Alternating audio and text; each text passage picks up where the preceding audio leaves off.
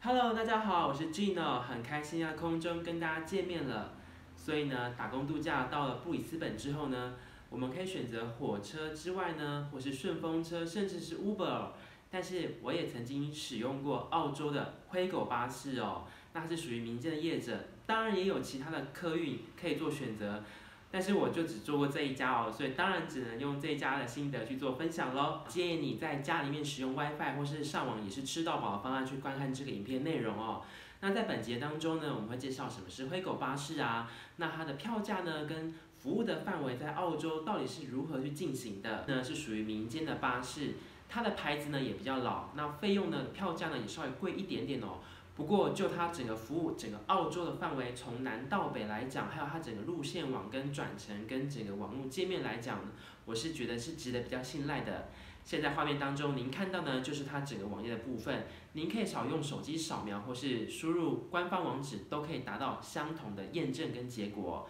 上网搜寻 triple w g r e a t h o l l dot com a u，或是您可以使用关键字直接在 Google 打。澳洲灰狗巴士搜寻结果，第一个就是它的官方网站了。来到了网站，您当然可以去做订票。首先呢，这边呢是快速订票的方面，直接点下去呢就可以开始这次的旅程了。可以选择火车啊、飞机票或是共乘之类的这些交通工具哦。所以这个影片呢是。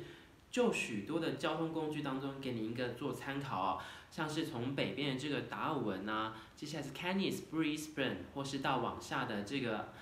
雪梨、坎培拉、阿德雷特这些区域呢，灰狗巴士它都有结成不同的区域区段，可以帮您做服务哦。就是因为都一直待在布里斯本，所以我就仅能分享布里斯本一个服务的路线哦。好，那我们先来看哦，那从最边边开始呢，它也可以直从机场呢也有巴士，所以。澳洲的布里斯本机场呢，它本身就有就是灰狗巴士之外呢，一般的客运还有火车，你想要到 City 都可以哦。然后然而呢，它这个沿途呢，从机场呢可以到这个 Cultural Center，就是在 Romeo Street 这边哦，所以在在市中心这边。那你有看到这张图片？它有非常总共是六线集合在一起哦，所以在这边呢，你也如果说你也想要在这边到极二线的区域，比如是说像 Gatton 啊，或是图文巴这种。偏远地区，他在指定的地方从事特定的行业及二千的话呢，不妨也可以选择是使用惠狗巴士哦。当然，你也可以选择说哦，你自己去找顺风车啦，或是找 Uber 的方式去达到你要的目的地，这些都是可以的哦。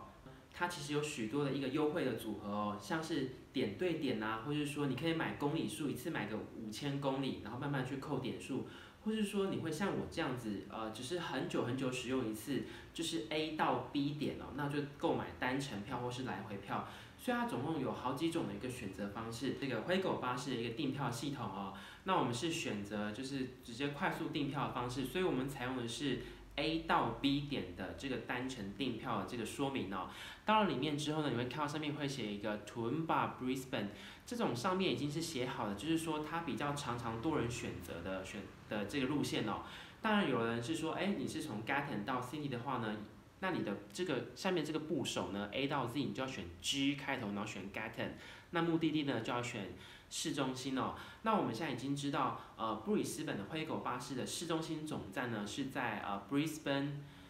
Coach Terminal 这一站哦，它虽然标榜在市中心，但是它距离市中心还有一小小段距离哦，但是呢。基本上呢，如果是走路的话呢，大概是十二分钟到十五分钟，是我觉得不会太远啦。就是快步再慢慢走过去，其实很快就会抵达了。那我们现在的今天示范的这个教材的一个内容呢，就是图文巴到 Brisbane City 的一个范围哦。那来到布里斯本呢，我一定要介绍这个布里斯本的客运总站哦。这一站呢，不是只有灰狗巴士使用，那它也有其他的客运哦，所有地方它都集中在此。所以这一站名称叫做 Brisbane Coach Terminal，布里斯本客运总站哦。那它的好处呢，它是双铁共构，它的站上面呢是客运，站的地底层下面呢是火车。所以如果说你想要搭乘红线、蓝线、黄线的这个布里斯本的这个火车的昆士兰火车的话呢，是相当的方便。以红线来讲，最北边的呢就是国际机场线哦。最南边的呢，就是延伸到这个 Sunny Bank 的区域，L T T 跟这个黄金海岸的区域的黄线呢，它都可以做到达。甚至是说到蓝线呢转换在 Eagle Junction 往东北边的方向移动呢，火车也是可以做转乘的。那如果就是说到这站之后呢，它的火车站的名称叫做 Romeo Street Station 哦，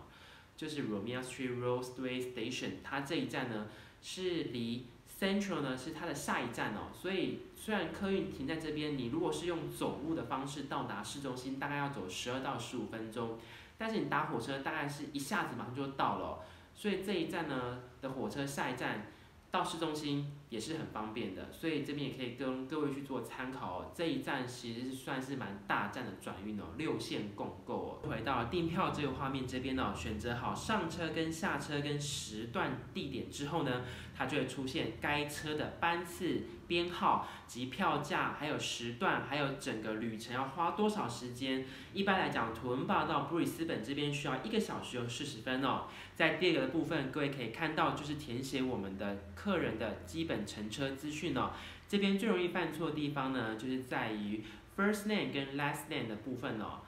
first name 就是我们的呃名字的部分哦，所以是如果是本人叫郭俊义的话呢，就是填 Chin 义，然后 summary name 呢跟 last name 呢是一样的意思，只是翻译不同。所以 summary name 跟 last name 呢就要填我的姓氏，如果是郭的话呢就填 K U O 哦。我们同一个页面的往下拉呢，它就会告诉你呢，你要不要多花四块钱升级可改票的这个功能哦。一般来讲呢，如果你把它点，我不要多花四块钱，等于说这张票呢等同于机票概念，不可改期，也不可以顶让作废，很麻烦。所以说你一旦要订这种便宜的票之后呢，一定要下定决心，就是那一天，就是那个时间。不然，如果说你想说，嗯，好吧，那可能会改一下时间，那你还是多花四块钱选择升级可以改时间的一个功能哦，就是 Premium 的一个 Ticket 的功能，但是要多四块。那第二个呢，就是选择行李空间的部分哦。呃，原则上呢，我灰狗巴士呢，它是一加一，就是一件随随身的，然后一件托运，或是两个都托运都可以哦。那在原始的设定情况下是一加一，所以总共 total 是两件，每一件的大小呢？原则上呢，是以二十公斤以内哦。那你会说，哎，那我一个后背包再加一个二十九寸的行李箱，再多一个 IKEA 的袋子，那这样到底算几件呢？答案是 total 是三件哦。所以当你到现场，如果在被发现说你行李太多，那就要现场再额外买行李会比较贵一点。所以你事先在上网订购的时候，你先估算你大概有几件行李，那你就选择说，OK，那我就选择多加一件。那如果以刚刚那个例子来讲，那我就。花十块澳币多多一件哦，那如果你总共是四件的话呢，你就是花十五块钱哦。那此外呢，有的可能背包客啊，可能会带冲浪板啊，或是脚踏车去做旅行，那他也可以提供每人一件的这个服务哦，去做托运。那相关的费用是在上面的。路线呢是图文巴到这个 Brisbane 市中心这边哦。所以我是使用线上订票的方式，加上它的手续费哦，所以是二十六加零点四四手续费。那它可以使用澳洲的一个信用卡哦，去线上刷卡去做付款完成是没有问题的。完成付款之后，它会依照你当时留的 email 寄一张电子 ticket 给你哦。你可以使用你的手机截图或是下载或是列印出示当成票券都是没有问题的。优点跟缺点哦，像是比如说呃我们在市中心。然后坐上客运之后，到了图文巴这边，图文巴或是 Gatton 哦，它都是属于内陆型的一个城市，就算是比较荒凉的地方，算是小镇哦。那有些时候可能是你出租的一个房子住的地方，离那个市中心，它把你放下车的地方有一点远，所以你到达这个小镇的市中心之后，你要怎么到达？去叫车或者找朋友或者找任何方法到你住宿的这个地方，这个时间的一个便利性呢，我觉得还是要多加考虑的哦。当然，如果说你刚好就住在镇上附近，或是住在图文巴市中心那边，那你要去找这个客运总站，那当然是相当方便的哦。另外呢，有朋友问说，哎，听起来好像比较便宜，那我是不是不要选顺风车？其实这不一定哦。像有些时候，如果说你跟你几个好朋友人数比较多，一辆车子，然后你可能搭了两个人之类的，或是三个人，那你刚好找一台车顺风车，那你们三个人一起分享这个车资。像有时候这个车票呢，这个车资呢，比你买灰狗巴士还要来的便宜哦。那通常这种顺风车也会到你住的地方去接你，所以你也不用担心说，哎，那我如果说我行李这样拖拖拖到镇上，如果如果我住的很远，像我在以前在甘很住一个地方，我住的地方离市中心，离镇上那间超市唯一的那间超市，距离八公里，你要拖行李到那边吗？怎么可能？所以你只能找顺风车去把你带过去哦。那还有呢，有关于就是时间哦。因为像有的伙伴他会搭乘就是华航或长荣，那那一班呢，比如说飞回来的时候呢，飞到台湾，通常是晚上的十一点搭。那灰狗巴士在屯马最后一班发车是晚上六点钟发车哦。所以说，如果说哎你要在更晚的时间，然后才去机场，那这个时候呢，客运就可能没有办法满足你哦。所以时刻表上面的这个。取舍呢，在于各位哦，所以今天介绍这个灰狗巴士，不是一定要说，哎，巴士一定特别好，或是说，哎，找顺风车一定特别棒，或是说，哎，我们自己搭计程车 Uber 如何，而是我们讲这个分享的这个内容，在所有的选择权呢，都是留给您的。那关于灰狗巴士，我觉得它的座位的大小呢，它很像就是普优马这个。